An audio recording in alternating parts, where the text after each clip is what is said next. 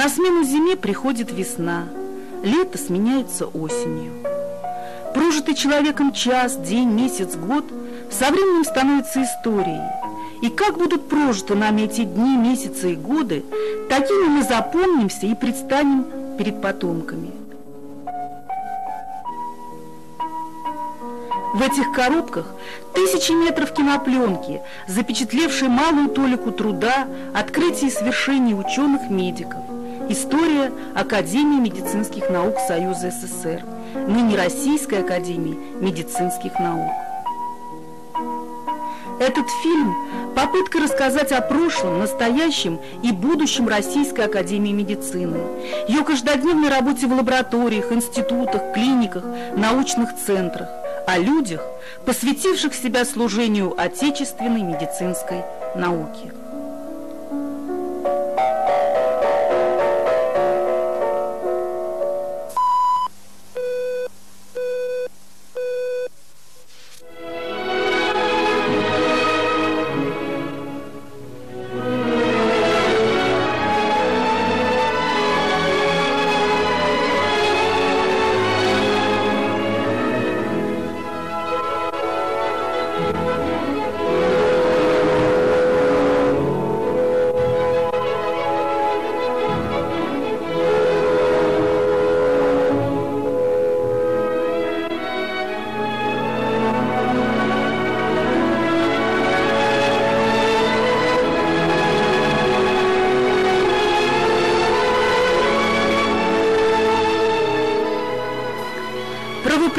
Правоприемница традиции Академии медицинских наук Союза СССР, Российская Академия медицинских наук отмечает свое 60-летие.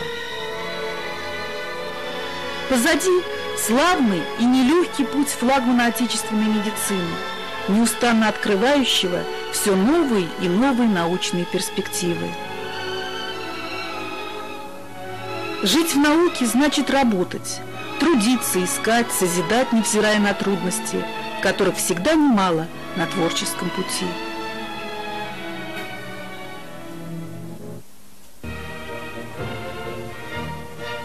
А начиналось все в далеком, опаленном кровавыми сражениями на фронтах Великой Отечественной войны в 1944 году, когда по инициативе ученых и правительства страны была выдвинута идея о создании Академии медицинских наук.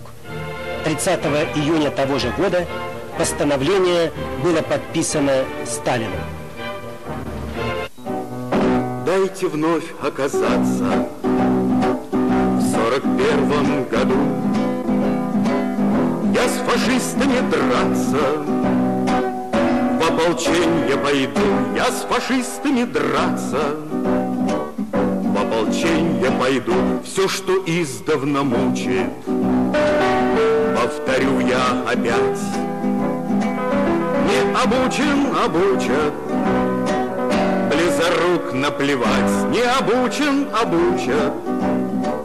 Близорук наплевать, все отдам, что имею, от беды не сбегу, и под пули сумею и без хлеба смогу, и под пули сумею, и без хлеба смогу.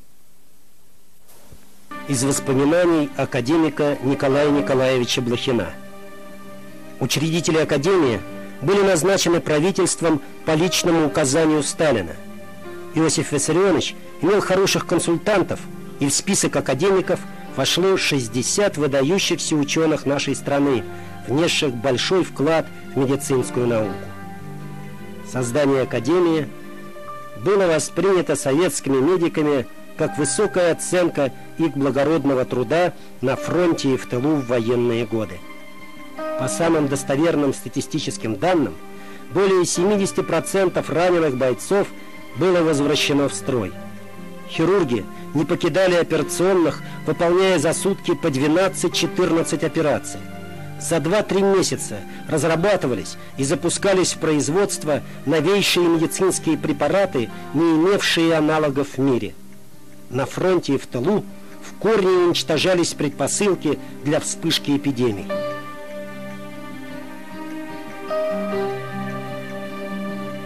В конце декабря 1944 года в Москве состоялась первая сессия Академии медицинских наук Союза СССР.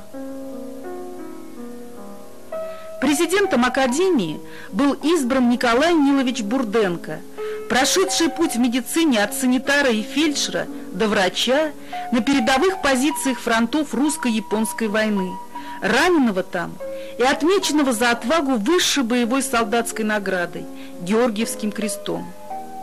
Бурденко был назначен главным хирургом Красной Армии с первых дней Великой Отечественной войны – его неоценимым вкладом в военную медицину было развитие учения о травматическом шоке, шоковых состояниях, разработка метода введения пенициллина в сонную артерию, доказана его эффективность. Мы принимаем на себя историческое наследие основоположников русской науки Пирогова, Сеченова, Боткина, показавших мировой науке, какие силы таятся в русском народе, говорил Николай Нилович Бурденко. Академия в лице своего президиума должна ставить и планировать общие проблемы и иметь мощные научные базы для разрешения их в комплексном плане силами квалифицированных ученых, являющихся специалистами в своей области. Академия должна оказывать руководящее влияние и на исследовательские институты, не входящие в ее состав, и на научно-исследовательскую деятельность медицинских вузов. На третьей сессии Академии медицинских наук в 1946 году президентом был избран академик Николай Николаевич Аничков, генерал-лейтенант медицинской службы, первый советский ученый, глубоко изучавший проблему сосудистых заболеваний, разработавший холестериновую теорию патогенеза атеросклероза. Под руководством Анечкова была введена система планирования научно-исследовательских работ по главным направлениям медицинской науки и здравоохранения. В 1953 году на пост президента избирается Александр Николаевич Бакулев. В этот период Академия возглавила научно-исследовательскую работу в новых направлениях медицины. В частности, создан научно-исследовательский институт полиэмилита и вирусных энцефалитов. Бакулев являлся руководителем НИИ грудной хирургии, впоследствии преобразованной в Институт сердечно-сосудистой хирургии, ныне носящий его имя. Благородная цель медицинской науки, писал Александр Николаевич Бакулев, не разрушение, а созидание. Необходимо объединить усилия ученых во всем мире – 29 января 1960 года меня избрали в академики, а вечером, по рекомендации ЦК партии, меня избрали президентом Академии медицинских наук, рассказывал Николай Николаевич Блохин. С его именем связана разработка и развитие фундаментальных проблем современной медицинской науки, решение приоритетных и неотложных задач практического здравоохранения – внедрение в жизнь программ по оказанию скорой помощи и реанимации, эндокринным заболеваниям, профилактике гриппа, проблемам трансфузиологии, общей патологии и целому ряду других направлений медицинской науки.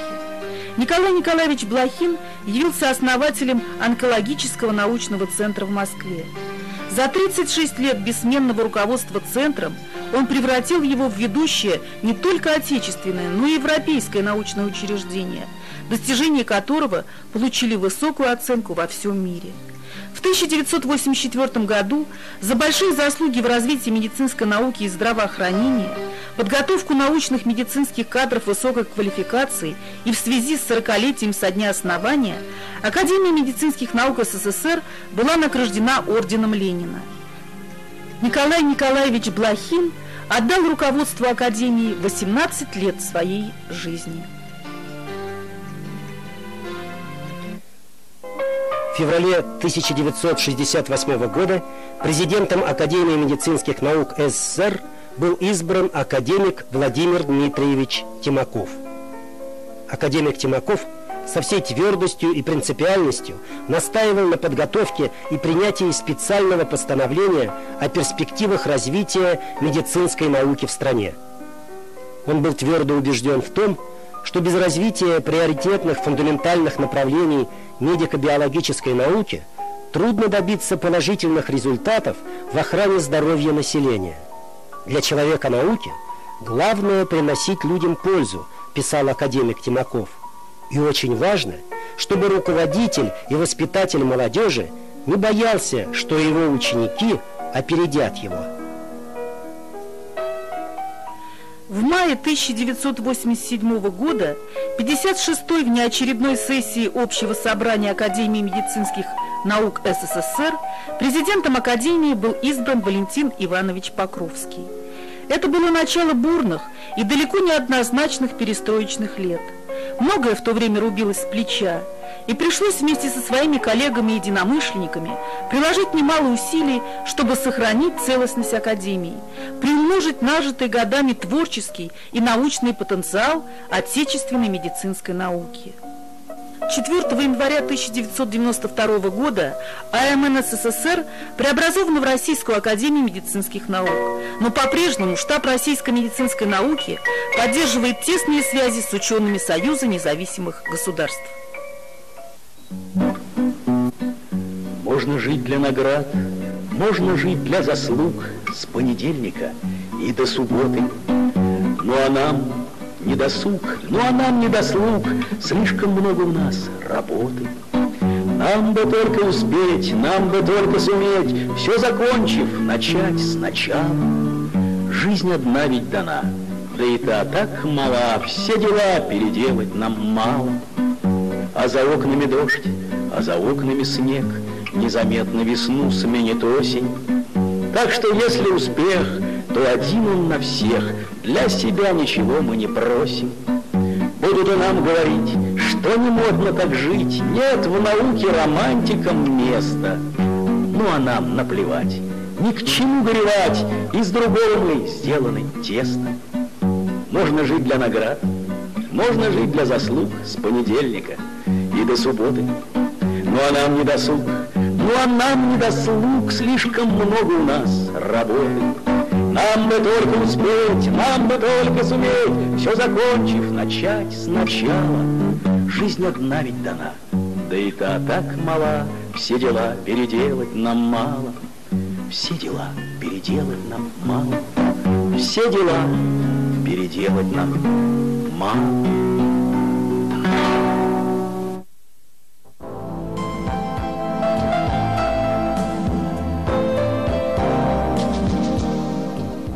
Согласно уставу, высшим органом Академии является сессия общего собрания ее состава. Между сессиями штабом медицинской науки руководит президиум.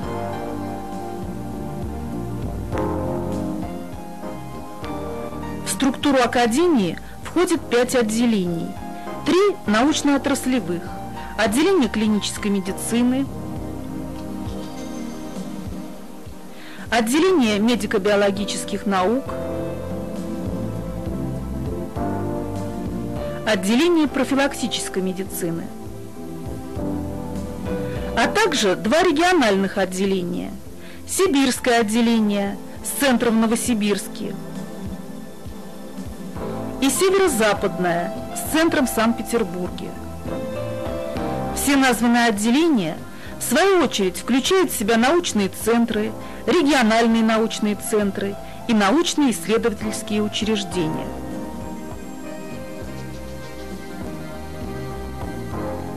Президиум Российской Академии Медицинских Наук руководит работой всего штаба медицины. Самые современные, самые актуальные вопросы, связанные с расширением научных исследований как в центре, так и в регионах под патронажем Академии – одна из главных задач в работе Президиума.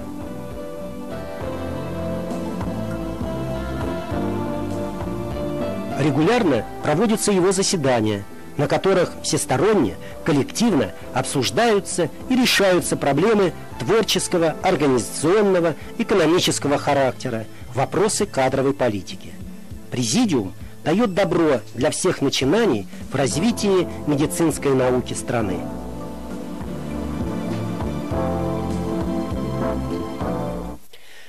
Отделение клинической медицины Российской академии медицинских наук является научно-организационным центром, который объединяет ученых самых разных специальностей – кардиологов, хирургов, акушеров-гинекологов, онкологов, неврологов, педиатров и многих-многих других. Жизнь поставила перед отделением ряд важнейших задач. Прежде всего, определение ведущих направлений развития отечественных научных исследований, планирование и координация этих исследований, в том числе фундаментальных, проводимых в научно-исследовательских институтах и академических группах, входящих в его состав. Важная задача отделения – подготовка научных кадров, контроль за лечебной работой в клиниках институтов. В научно-исследовательских учреждениях работают тысячи сотрудников, многие из которых имеют звание профессоров, степени докторов и кандидатов медицинских наук. Отделение клинической медицины оценивает эффективность конкретных научных исследований, способствует внедрению новых методов лечения в практику здравоохранения.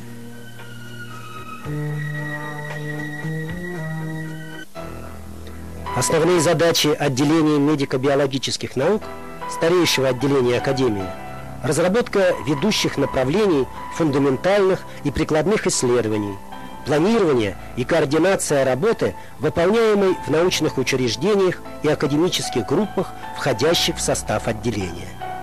Деятельность по созданию научных центров в различных регионах страны. Подготовка кадров высокой квалификации. Какие же проблемы научных исследований определило для себя отделение медико-биологических наук? Это прежде всего изучение иммунных, генетических, молекулярных, биохимических, физиологических и морфологических основ процессов жизнедеятельности в норме и патологии. Эти исследования позволяют диагностировать, лечить и восстанавливать нарушенные болезнью те или иные функции организма – вести активную профилактику заболеваний. Приоритетным является направление по изучению фундаментальных основ деятельности головного мозга.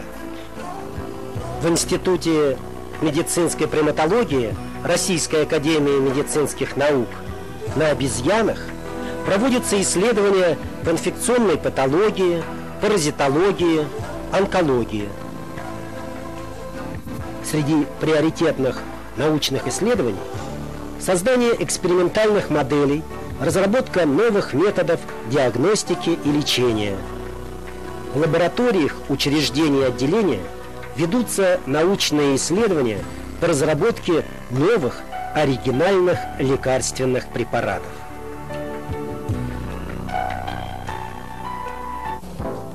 История отечественной медицины на всех этапах своего развития выделяла как самостоятельное направление профилактическую медицину. Отделение профилактической медицины Академии объединяет ученых, работающих в области общей гигиены, гигиены окружающей среды, гигиены детей и подростков, экологии человека, медицины труда, санитарной токсикологии, общественного здоровья, социологии медицины эпидемиологии. Ученые работают в области изучения фундаментальных проблем экологии человека и гигиены окружающей среды. Это научная основа всех мероприятий, проводимых нашим государством по охране здоровья населения России. В научно-исследовательских учреждениях ведется разработка теоретических основ, устанавливаются общие закономерности влияния производственной сферы на здоровье работающих. Это основа основ диагностики, лечения, а главное профилактики профессиональных заболеваний. Научные изыскания ведутся в важнейшей области – области здорового питания как взрослых, так и детей – за последние годы отделение профилактической медицины участвовало в выполнении 20 федеральных, а также межведомственных и региональных программ, отечественных и международных проектов. В отделении систематически заслушиваются и обсуждаются планы и отчеты находящихся в его ведении институтов, Оцениваются законченные научные разработки, предлагается их внедрение в практическое здравоохранение.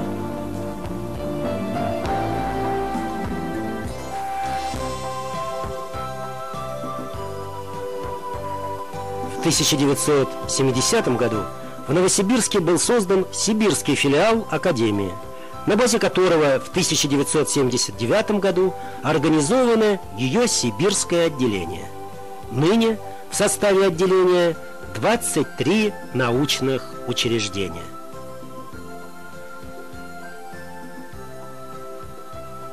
Районы Западной и Восточной Сибири, Дальнего Востока – с их отличной от европейской части России экологией, климатом, условиями жизни нуждались в более глубоком изучении с точки зрения охраны окружающей среды и здоровья живущих и работающих там людей.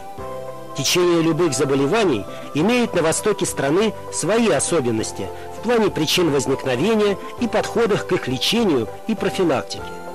Значительное число исследований посвящено вопросам охраны здоровья матери и ребенка. Изучаются дикорастущие растения. На их основе создаются высокоэффективные лечебные и профилактические медицинские препараты. Ученые сибирского отделения многие годы ведут большую работу по изучению природно-очаговых заболеваний, разработке основ охраны окружающей среды, проблем профилактики и лечения профессиональных заболеваний. Одна из форм научно-организационной работы Президиума Сибирского отделения – выездные сессии, проводимые в различных городах Сибири и Дальнего Востока. Ученые Сибирского отделения участвуют не только в решении региональных программ по медицине, но и вносят большой вклад в научные и прикладные исследования всех федеральных программ.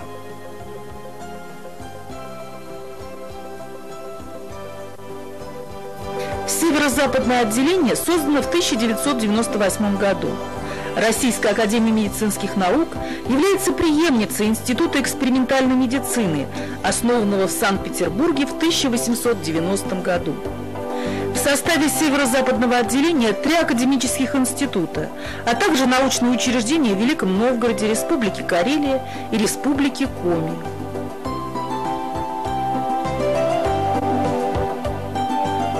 Северо-запад России.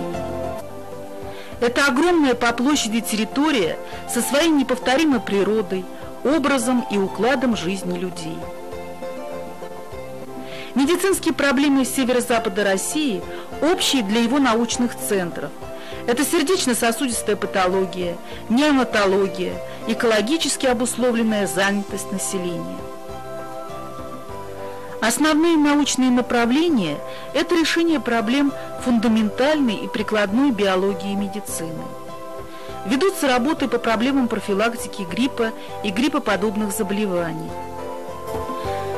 Северо-западное отделение Академии в постоянном творческом поиске. Развиваются различные формы взаимодействия научно-исследовательских учреждений, региона и центра. Это выездные заседания президиума, выездные научные совещания, участие в разработке новых методов исследований, формировании региональных и отраслевых программ.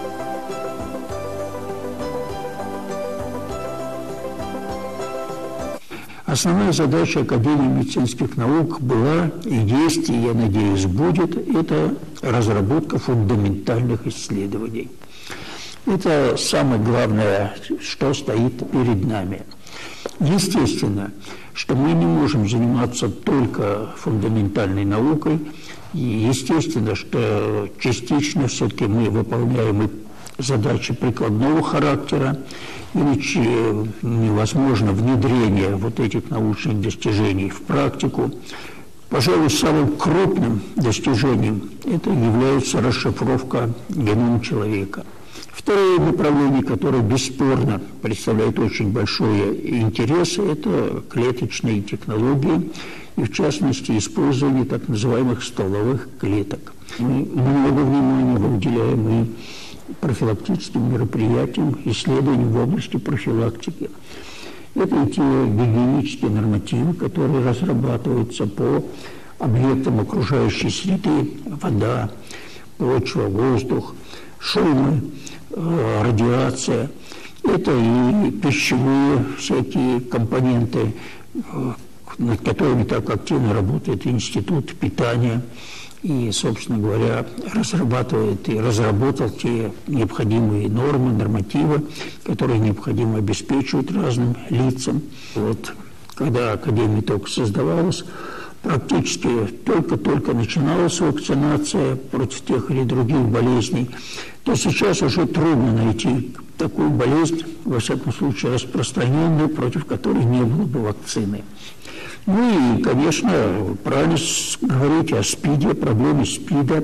Это чрезвычайно серьезная проблема. И сейчас, в общем-то, в мире где-то около 50 миллионов людей, зараженных вирусом иммунодефицита человека. В 89-91 году я предложил классификацию э, ВИЧ-инфекции, которая у нас, в общем-то, принята в нашей стране то года два тому назад потребовалось внесение коренных изменений в, ее, в эту классификацию. Ну, а если говорить еще об одной области, которая, с моей точки зрения, является наиболее важной, наиболее серьезной, это проблема матери и ребенка. Значит, потому что мы должны думать о будущем нашем поколении. Оно закладывается в утробу матери. Поэтому, если мы будем хорошо, так сказать, заниматься профилактикой всех болезней у женщин, и в частности у беременных женщин, и будем получать полноценных детей, то уже очень большое значение будет э, иметь для наших будущих поколений. Так что мне кажется, что какую область мы с вами не затронули, я просто не знаю такой области, в которой бы за последние где-то там 10-15 лет не было бы колоссальных сдвигов вперед. И с полным удовлетворением могу сказать, что институты Российской Академии медицинских наук в этом плане не отстают от мирового уровня. Отечественная медицина и ее штаб Академии медицинских наук – во все времена своего подчас далеко не безоблачного существования были и остаются для России гарантом физического и духовного благополучия нации, главными защитниками здоровья людей. Ряды Российской Академии медицинских наук постоянно пополняются талантливыми учеными. Им нести в будущее эстафету отечественной науки – которые они приняли от своих педагогов, своих учителей, старших товарищей, чьи труды принесли славу российской медицинской науке.